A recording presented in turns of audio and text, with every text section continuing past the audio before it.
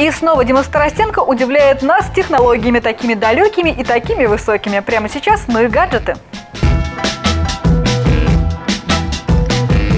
Всем привет! Если человек барабанит пальцами по стулу или по ноге, возможно, он просто пользуется невидимой клавиатурой. О любопытной технологии, похожей, кстати, на кастет, расскажу прямо сейчас. Новинка позволяет заменить традиционные устройства управления. Внешне этот гаджет напоминает хороший такой кастет, а вот по сути это виртуальный манипулятор. Он способен выполнять функции клавиатуры, мыши и геймпада. Устройство можно использовать сидя или стоя и на любой поверхности. Нет разницы, работаете ли вы в шлеме виртуальной реальности или просто решили попробовать гаджет вместо вместо привычных средств ввода.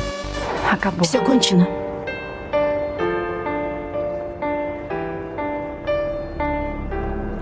Кончено?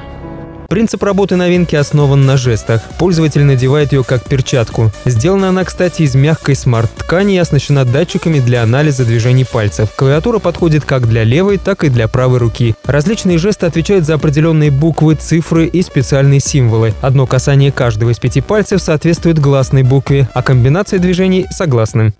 Назад. Вообще Главное изучить эти комбинации и наловчиться пользоваться невидимой клавиатурой. Без подзарядки та способна работать до 72 часов и заряжаться всего за 3 часа. Гибрид мыши и перчатки позволяет набирать текст на любом устройстве на системах Android, iOS, Mac или Windows. За связь отвечает наш любимый Bluetooth. По словам разработчика, с помощью кастета можно не только набирать текст, но и воспроизводить музыку на смартфонах и плеерах, а также управлять гарнитурами дополненной реальности. Последнее, между прочим, станет самой подходящей сферы применения такого устройства. Манипулятор работает с компьютерами, смартфонами и новыми системами. Уже созданы специальные игры и приложения для популярных платформ. Добавлю, в комплекте поставляется кейс-зарядник, который получает питание через микро-USB. А вот стоит новинка около 200 долларов. Неплохо за виртуальный кастет, правда? С каждым шагом мы все дальше и дальше погружаемся в виртуальную реальность. Кто знает, может все это иллюзия? Пока-пока.